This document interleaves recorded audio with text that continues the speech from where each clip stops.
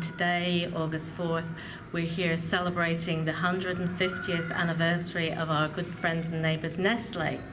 And Nestle have over 40 volunteers they've brought to the Boys and Girls Club of Allentown to um, celebrate the 150th anniversary, and it coincides with the opening of the Olympics.